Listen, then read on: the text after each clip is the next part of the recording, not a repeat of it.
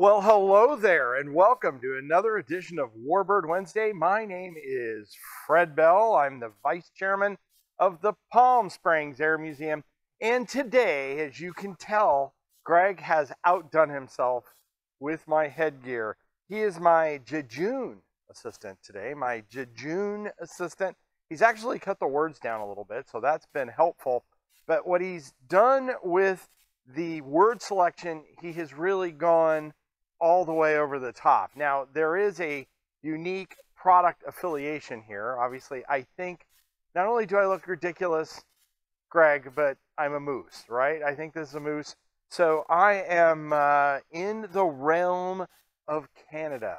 And today we are going to talk about a very interesting airplane, the de Havilland Canada, the DHC-1, the Chipmunk.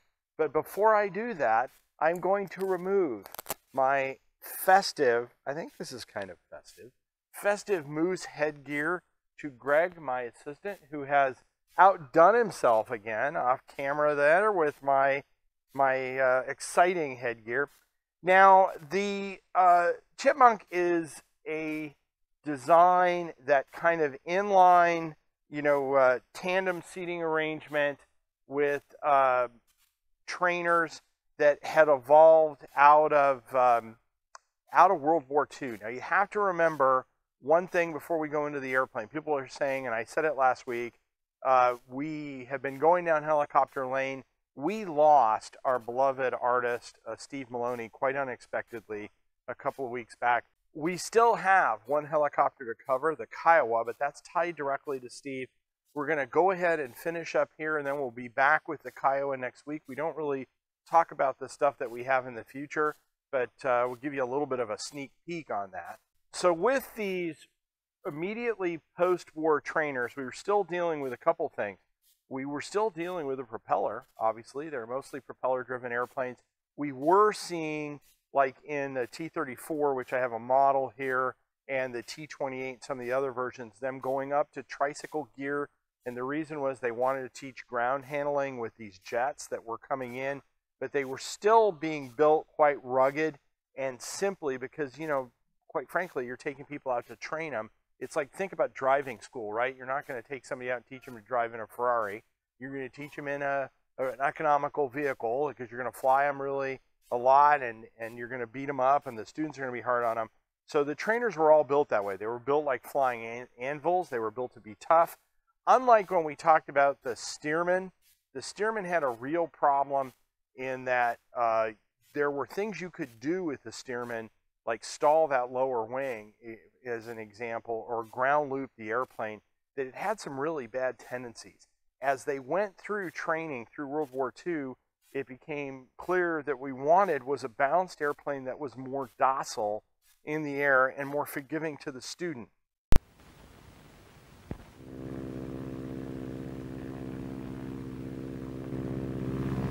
I have control. You have control, sir. Before we finish, John, I'll show you a steep bank to starboard. Follow me through. Right, sir? John Andrews is just completing his first flight in a Chipmunk. The Ministry of Defense called it an Air Experience flight, and that's a good name, because it's an opportunity for ATC and CCF cadets to experience a flight, and to experience taking control of an aeroplane. A chance to learn what it's all about the chipmunk could not be a, uh, a more airplane that was going down that doctrine, that, that what I just talked about, getting out all the bad things and trying to get something that was fairly easy for a student pilot to fly. So as I said, I don't have, Greg has not found a chipmunk model for me yet. You have, but it's Alvin and the chipmunks, I think. I couldn't help Greg, I just couldn't help it. But what I talked about, you know, um, uh, a good economy and lift on the wing, uh, simple power plant, not too much power, not too much torque, uh, inline, uh, tandem seating. The canopy on the trainer was simple from a standpoint of high visibility canopy. You would have an instructor and a student. You'd have a dual stick, dual instrumentation. Uh, the airplanes were becoming all metal to this point. We're getting way from fabric uh, and, and anything that wasn't uh, really durable but and the airplanes they weren't very fast. The maximum speed on a DHC-1 was 138 miles an hour, so it wasn't terribly fast. They were built by de Havilland Canada from 1946 to 1996. Now, the one thing about them, and Greg can throw up a plan view and some pictures, the aircraft was built under license, and there are some canopy and some fuselage changes depending who built them. So Greg can maybe go out and get the various versions and throw them up. We're not going to cover any individual version, although I will say I like, this is a late canopy on this airplane with that high visibility canopy, that bubble canopy. I really, really like that in terms of visibility and, and overall vision in the airplane. The, um, this aircraft was built as a successor to the Tiger Moth, which Greg can throw up one of those, uh, an image of one of those things. Now, the one thing, and maybe, um, uh, and I, you know, I don't know of any of these airplanes. A lot of trainers were pressed into service as uh, cheaper fighter bombers during, and they were used in various attack versions. I do not know of any chipmunk that was turned into, Greg, an attack chipmunk. I don't.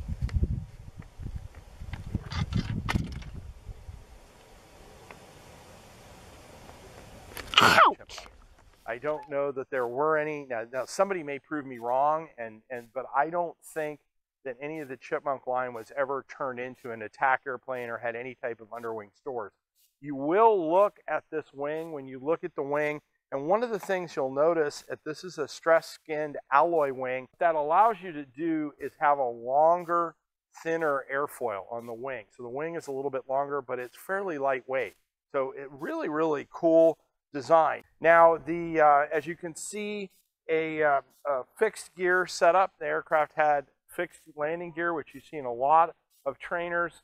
Uh, very narrow, narrow fuselage and extremely simple uh, engine placement and design. A very narrow fuselage. But again, all of the classic traits of these trainers.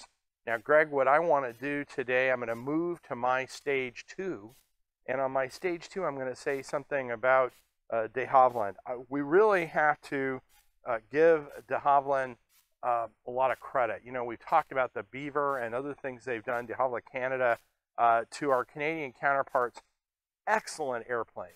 You know, you got to look at those airplanes and go, they are just fantastic uh, machines. They were thought, well thought out, well built, well designed, and, and you can't say enough good things about Canadian aviation up to Greg and I, we're going to do Canada Day here in a week. We're going to talk about all this fun stuff, aviation stuff coming out of Canada, which is a little timely, whether you view this um, episode in, in order or not. But we do do a Canada Day here at the museum.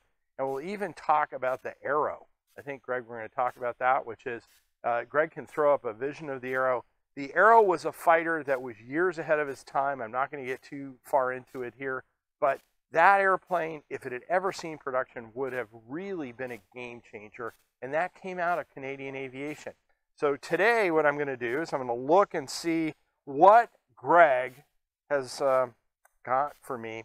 And Greg, who never misses a beat on, uh, on theming, has uh, come up with bacon soda. Good job. Is this, we, we, we talked about this off camera, Greg. Is this Canadian bacon soda? We really don't know. Now, of course, it says that this is Lester's fixin', the uh, the usual guy. Uh, Lester, you're you're trying to kill me, buddy. Um, this is artifi- artificially flavored bacon, so no real bacon was harmed in the making of this soda. So this is exciting. Uh, pure cane sugar. Um, this is Rocket Fizz soda. We've seen these guys before. These are really, really sick soda makers who sit around and go, well, what other can I can I do a gravy soda? What else can I do? But this uh, has 170 calories, uh, no sell by date. So, uh, Greg, again, you're uh, you're putting me out into the outer reaches of uh, known um, known um, ethics on uh, soda production. But we're going to go ahead and open this. So, to all of the Canadian aircraft designers and Canadian air crews, these guys are absolutely fantastic. The guys and girls that do this. And I, I want to salute all those fine Canadian aviation folks. So with that, I'm going to jump into bacon soda. no hint of it. Well, maybe there might be a little bit of uh, bacon on the grill there. Oh man.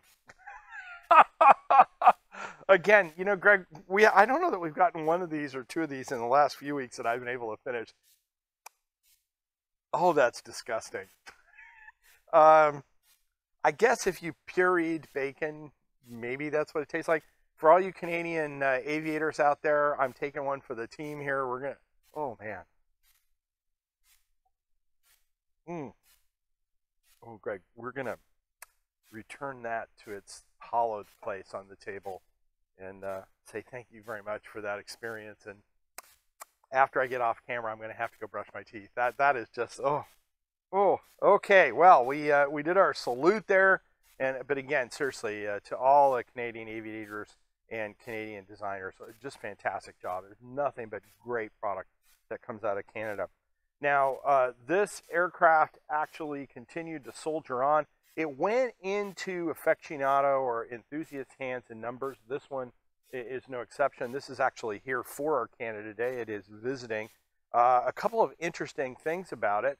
Um, the um, Oswald Jackelmink, if I didn't screw up his name, is the principal designer on this airplane. Maybe if you can find his, I'm sure I screwed up his name. And if I screwed up your name to the uh, Jack Jack Jacqueline Jacqueline family, I apologize. You can screw up Fred Bell, say it backwards, Leb or something like that. But uh, he was a principal designer on this airplane. Uh, he really came up with a fantastic design, but the airplane continued to soldier on. It went into private hands.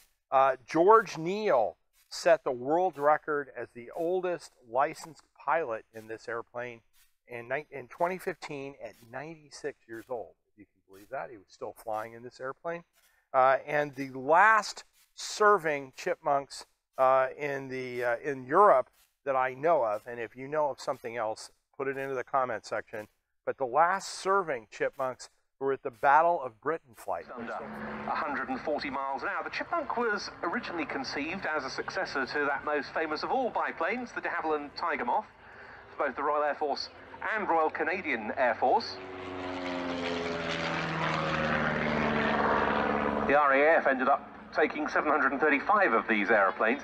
Early orders for the Chipmunk were rather slow. It made its first flight from the de Havilland factory airfield at Downsview in Toronto on the 22nd of May 1946 and came into service with the Royal Canadian Air Force a couple of years later. But at that time, of course, there were still large numbers of surplus wartime training aircraft, Tiger Moths, Harvards and the like, that were perfectly serviceable, perfectly usable for continued post-war use, and of course, an awful lot of governments, including Britain's, were virtually broke at the end of World War II and didn't have huge funds with which to buy new aeroplanes.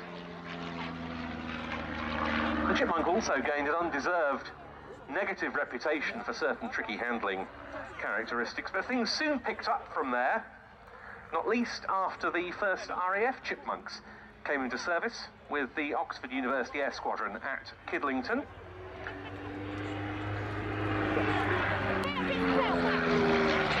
Was in February 1950, and the great uh, de Havilland test pilot Pat Fillingham, who went out to Canada in 1946 to make the type's maiden flight, led the first batch of chippies into Kidlington from the factory airfield at Hatfield. Uh, quite a long evaluation took place prior to Royal Air Force service of the uh, Chipmunk. They came into use with University Air Squadrons, the reserve flying squadrons of the RAF Volunteer Reserve, and latterly the air experience flights, giving flying experience to members of the Air Cadets. So uh, the, this is a, a great example and a loving, lovingly restored version of this trainer. It will continue to soldier on, I'm sure, for years. But if you have an interest in Canadian aviation, what do you need, Greg? You need one of these fine, fine Canadian shirts with the roundel. We talked about the roundel with the maple leaf. That is fantastic. It is wonderful. Uh, this, Greg will make sure we have the link and we'll throw that up on our website. You need to get out and get one of these. This will make you a better pilot, and as I say many times, it'll make you 15 miles an hour faster, especially if you're Canadian. So get out to the uh, to the site and order one of these. Uh, remember, we cannot do the restorations and do what we hear we do here at the museum without your donation. So get out to that website and give us a donation. Subscribe to our YouTube page and like us on YouTube. Leave a comment if you want. Like us on Facebook. And I am going to thank you for joining us today. My name is Fred Bell, the Vice Chairman of the Palm Springs Air Museum. Have a great day.